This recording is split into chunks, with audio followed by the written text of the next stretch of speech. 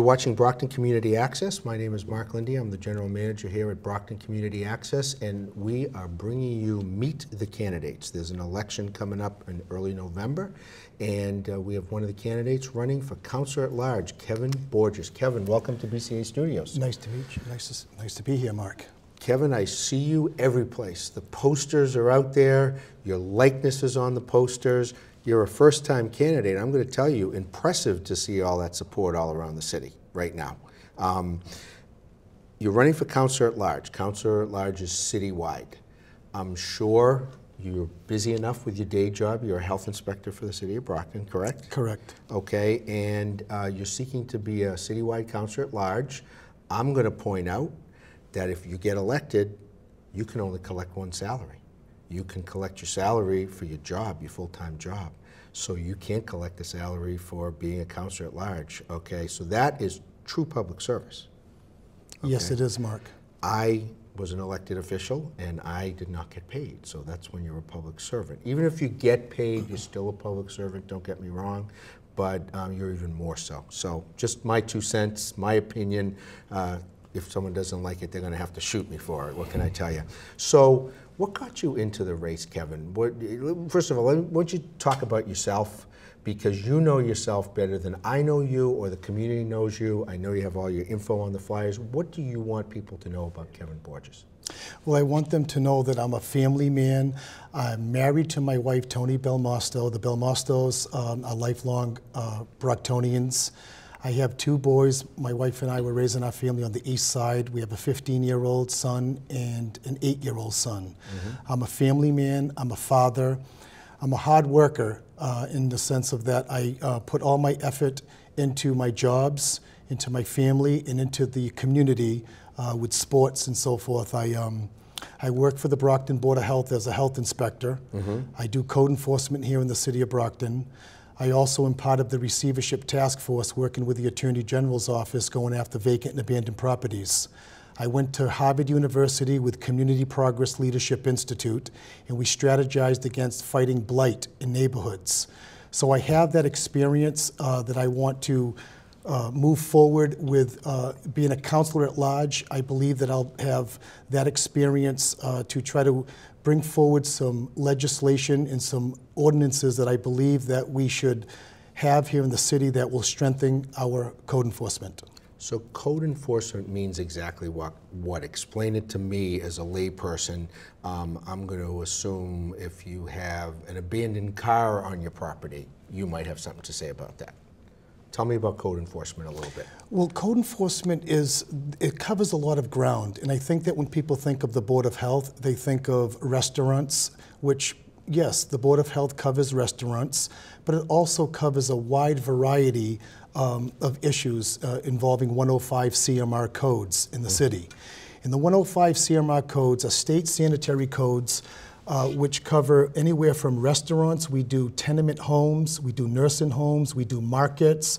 Uh, so, and we also use Chapter 111, which uh, is the vacant and abandoned properties that we use that with 105 CMR codes to actually obtain administrative warrants to go into vacant properties and take action against the lenders that um, have these properties uh, remain vacant in our community. And if you have an abandoned house in a community, if you know we don't brockton never wants to be detroit. You have entire neighborhoods entire you know whole areas. Um, i know in the past in brockton there were lots of multifamilies torn down because they were so blighted before you were you know a health inspector right around the corner on, on main and spring near the mainspring house that whole section over there i remember all those houses went down and it turned into like a community uh, outdoor garden, okay? But all you need is one house, and it's your property values, and that house could be a drug house, it could be used for all sorts of different things. So um, I know if landlords aren't in compliance with certain things, you guys come in into play. People have to have hot water in their houses. Correct. So I'll tell you, that's a pretty comprehensive job. So you want to take on more. You want to be a city councilor. So the city councilors do the legislation, like you just said.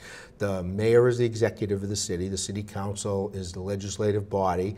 And you're already mentioning all sorts of codes and state codes, and we have local ordinances.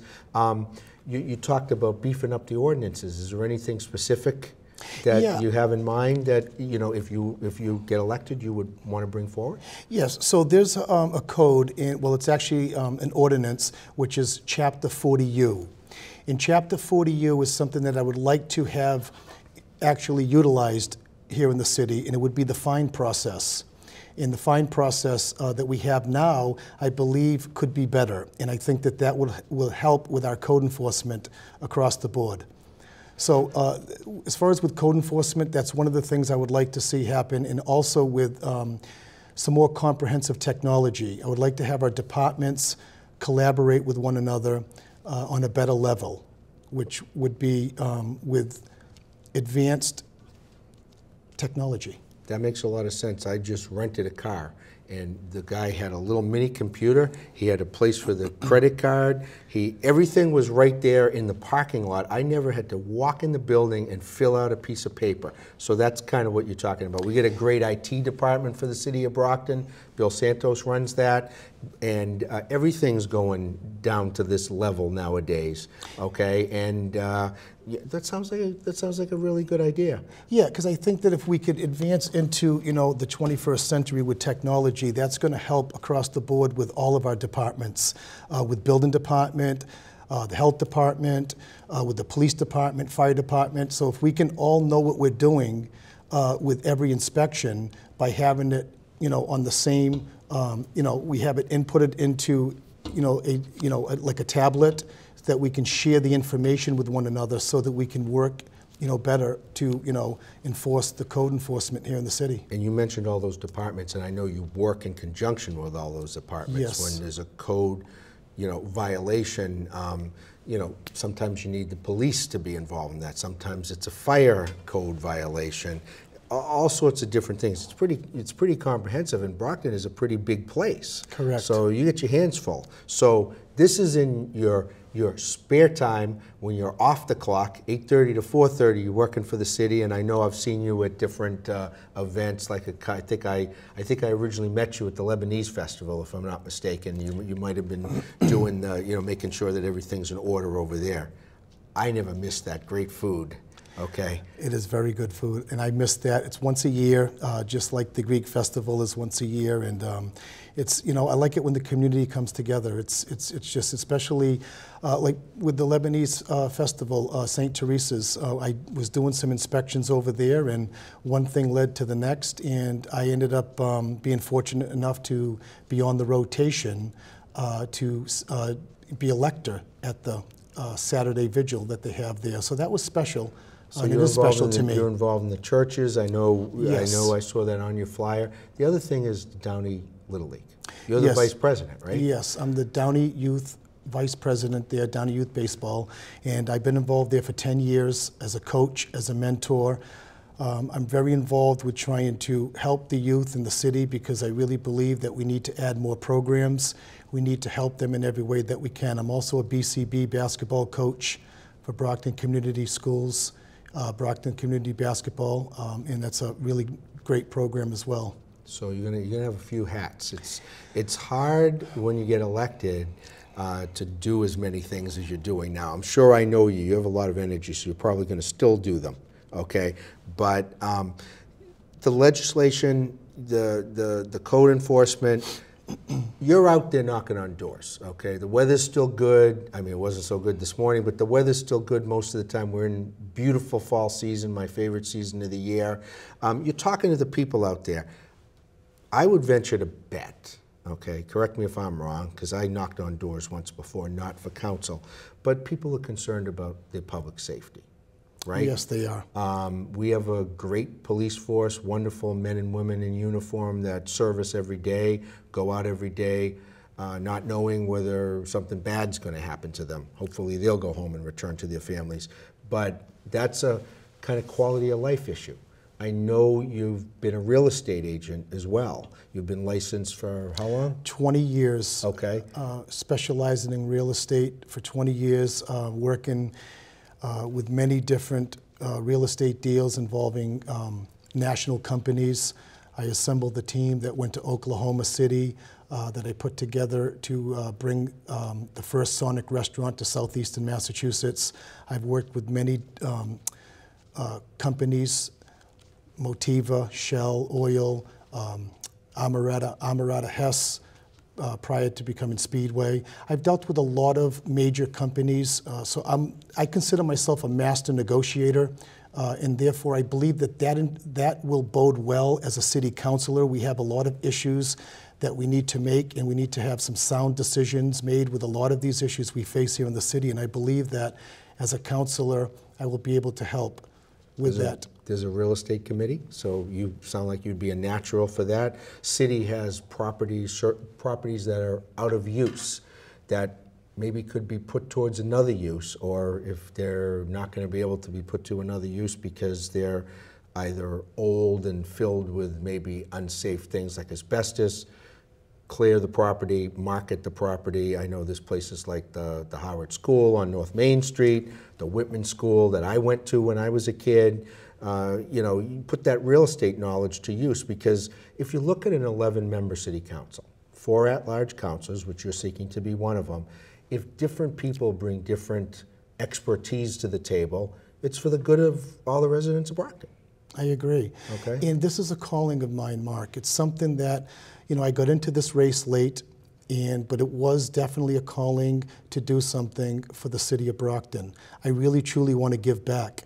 Um, I've been fortunate enough, and I'm blessed in my life uh, with my family. I have my wife and my two boys, and um, I want to be able to get back to Brockton, and that's why I am seeking to become a councilor at large here in the city. It will not cost the taxpayers any money for me to have this position. It coincides well with what I'm doing now in the city, with my city job, uh, with the information that I bring forward to help the city in terms of uh, the wealth of knowledge I have in real estate uh, and across the board with you know all the issues going on here in the city. Uh, I think that I would um, be a great asset to the city, and I'll be able to help the residents uh, in every way. Now, one of the things councilors deal with is uh, the mayor puts forth the budget every year. The council considers it. They can only cut it. They can't add to it.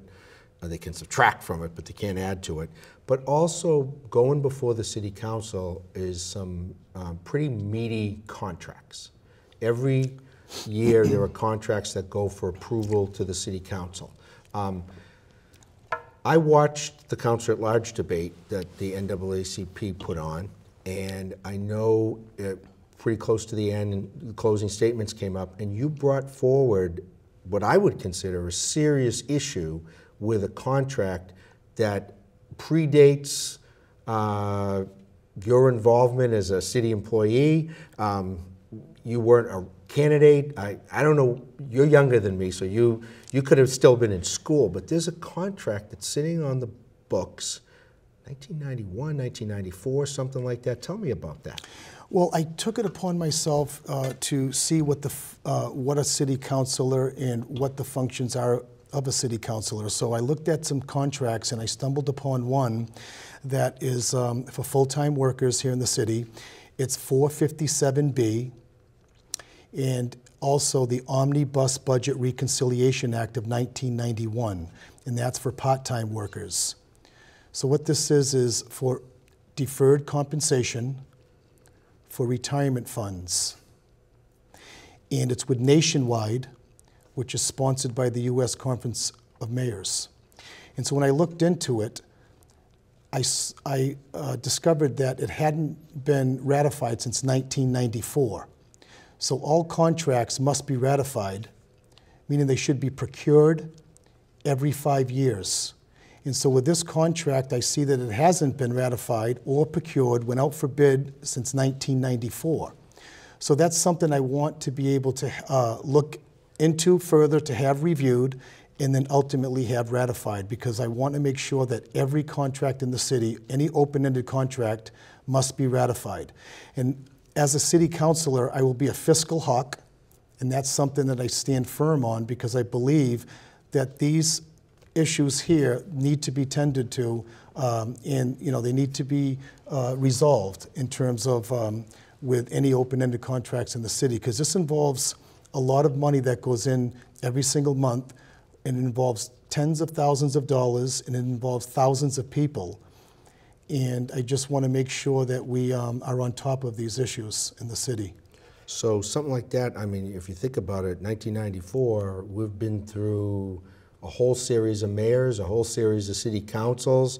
I know, like, for instance, the cable contract uh, started off as a 15-year contract, and then that's the initial one, and then it's every 10 years. So we're in like the fourth contract for Brockton. Um, but they go through that process. There's a whole three-year period that they do ascertainment and everything, and that goes through like the, the mayor's office is the issuing authority, cable advisory board. There's a whole process. That you're talking a lot of money. You're talking money that people, their hard-earned money of the the police, the fire, Teachers are separate. Teachers do mass retirement system. But the, your city workers, your, your clerk in an office, all the way up to department heads that invest their money, that sounds pretty serious. You're so, talking police, fire, school teachers, um, union workers. Um, you're also talking, so the Omnibus Budget Reconciliation Act, OBRA, that covers part-time workers, So like the substitute library teachers, page. library, Yeah. um, poll workers, election poll workers, and Hmm. so forth. Uh, so that's something that you know is definitely a lot of people when they when I mention it, they don't really grasp it. Uh, but once they look into this further, I really believe that they're going to see that this is something that needs to be addressed, uh, and it should be addressed immediately.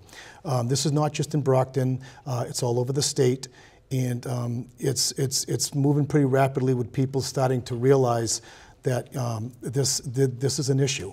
Um, I formally made a request today to Nationwide Representative uh, requesting any and all contracts with Nationwide in the city of Brockton dating back to 1994.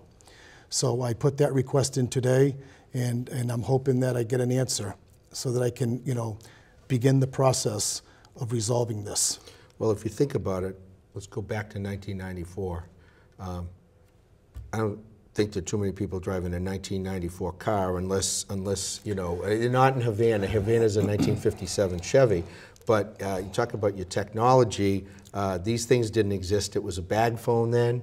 It was a it was a computer with a big monitor, not a flat screen. You didn't have the flat screen TVs, so that works. I mean, it's possible from what you're saying that maybe people didn't get a great return on the investment necessarily that if it was put out to bid there's a possibility they could have earned more in funding for their retirement for their futures and you know let's face it people use it for their retirement but after they pass it probably goes on to a family member or a grandchild or something like that so you're talking you're talking lots of money Correct.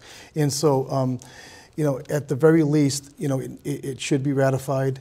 Uh, it's not in compliance. And that's something, you know, this contract and any other contract is what I will look for because that's, that's will be my duty as a councilor at large to be able to make sure that all the contracts are, you know, ratified accordingly.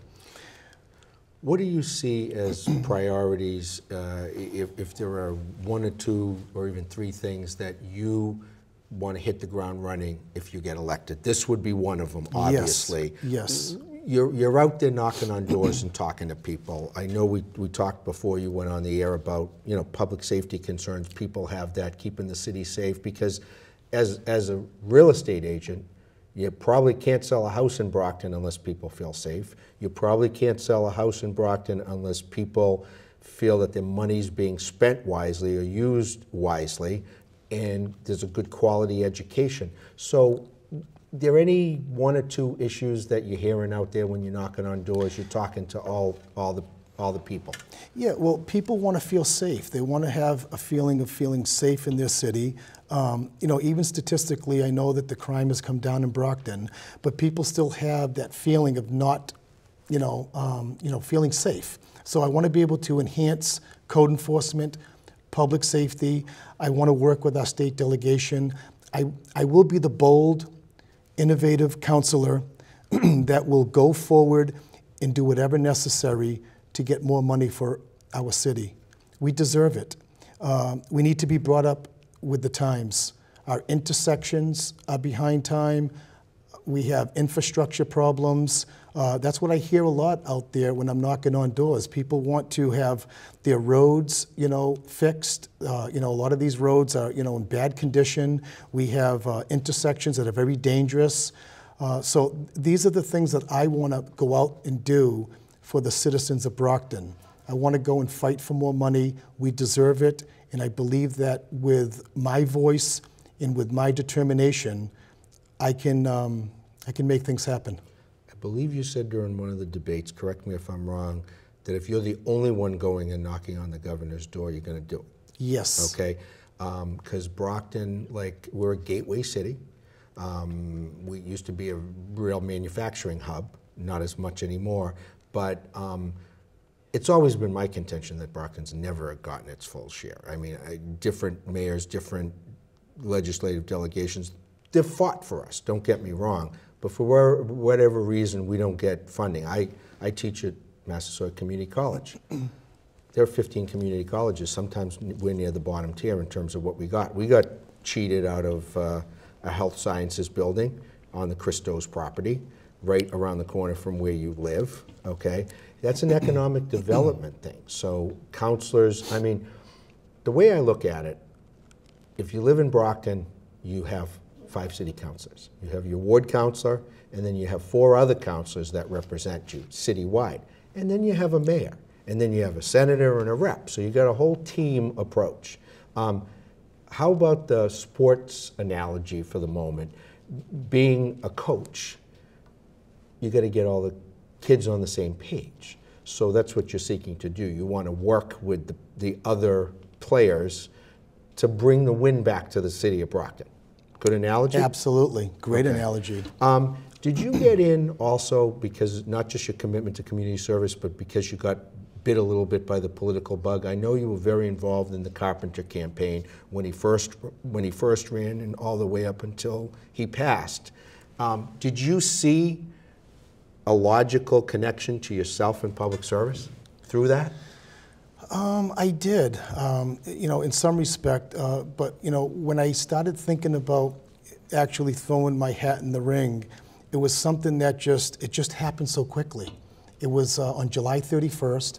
Um, I was uh, scrambling to try to get things prepared before leaving on vacation. I had a family vacation to go on. That's the one vacation I go every single year with our family. Um, and so I, I threw my hat in the ring. Uh, and I came back from vacation on the August 10th, and I had the NAACP event. It was just something that was meant to be. It was meant to be for me to be in this race. So, talk about anything that you want to get out to the constituents. This is this is your opportunity. You're going door to door. You're giving the pitch. You're talking to everybody. You know, you're introducing yourself. It, you're not a shy person, by any stretch of the imagination.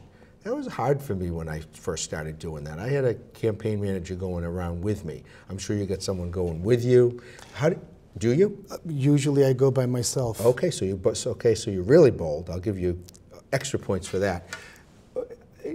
Give give the voters the pitch. Tell them you're not going to hit every single door that you have. I'm going to give you a closing statement, but I don't know if you want to, you know, try it out. My pitch is simple. I say it all the time when I knock on the door. It sounds, you know, um, repetitive, but this is my pitch.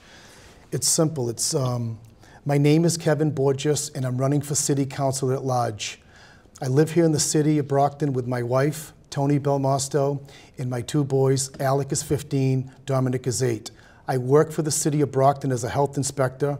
I also do code enforcement here in the city of Brockton. I am part of the receivership task force working with the Attorney General's office going after vacant and abandoned properties. I'm a parks commissioner here in the city of Brockton. I also am a real estate broker specializing in commercial real estate for over 20 years. I'm a coach for BCB basketball. I'm also a vice president at Downey Youth Baseball, working with our youth. I'm very involved in the community. I'm the only one who's not receiving a paycheck to do this because I want to stand up for the residents of Brockton. I'm doing this because I want to give back to Brockton. I'm 50 years old and it's my time to give back. And this is the way I'm going to do it. I want to bring my knowledge and the wealth of experience that I have and work to make Brockton a better place for all of us. Everyone will have a seat at the table.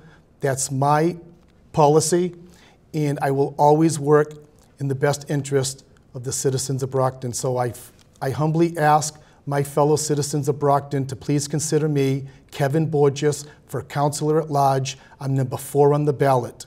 Thank you. So Kevin, if people want to get in touch with you, how do they do that? If they want to contact you before voting day, and then they'll have your number after voting day if you get elected, or website, any of the information you want to give us? Well, if you want to reach me, you can reach me directly on my cell phone at 508 726 7777. I will always be available and I'll always be accessible.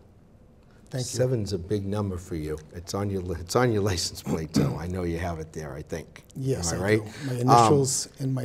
You have a lucky seven. Facebook? Yes, so I do. people can look at your Facebook, Facebook? Instagram, yes. all the latest technology.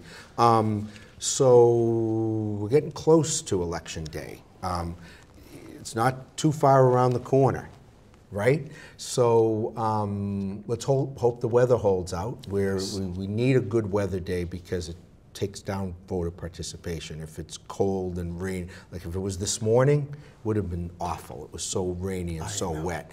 Um, uh, how's your family dealing with this? To have a couple of younger kids and to have, I know your wife is one of your biggest supporters, and I remember the Belmosto family very well because my brother worked a lot on the east side of Brockton, and I'd go visit him, and my dad knew her dad with the, the service at the station.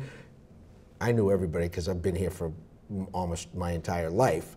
Um, how's your family dealing with this? Your, are your kids into it and your wife? They are into it. In fact, they helped me put together some brochures last night. We had um, the um, we were able to go to the high rises, and we were able to say a three four minute speech uh, to the residents, share some words there. So they put together my brochures with some candy, and they came with me. They're really good sports about this, and I tell them all the time. You know, Dad is doing this because I want to help the city that we live in. And this is something that I want them to learn from that look at this is a commitment that I'm making, but it's the right choice because it's something that will help them and it will help all families in Brockton. Um, it is a lot of work, I can tell you that. It's, it's a daunting task. It's, um, it's something that it takes a lot of effort to do this. I mean, it's not a mayoral race, so it's not like you have seven captains and you have, you know, uh, a slew of people working for you each and every day. It's more or less me doing this. Um, I'm out there knocking on the doors. I have my wife and I have my two boys. Uh, they try to help me as much as I can, but I must be honest, I had them out with me on Saturday, and they don't move quick enough for me. Okay. Uh, they were trying to help, and I had them with me on a couple of streets, but I said, okay, it's, um, I got this. I'm, I, you know, I'll take care of the rest. So boundless energy. Yes, I just, you know, because I have to methodically hit the doors and I have to make sure that I um, reach as many people as I can because I want them to know who I am and what I'm running on. So, but my family has been so helpful and I'm so, I'm so grateful for my wife and my kids because they really are supporting me with this and it means a lot to me. Well, thanks for being on. Meet the candidate. Uh, Thank you, Mark. Wish you luck, and you. Uh, we'll see. We'll see you at the polls. Thank you for having me. Thank you for joining us and watching Meet the Candidate, Kevin Borges, running for councilor at large. Take a, take a look and a listen to Brockton Community Access for more election coverage. We'll have other candidates on, and we'll bring you election night coverage here on Brockton Community Access. Thanks for joining us.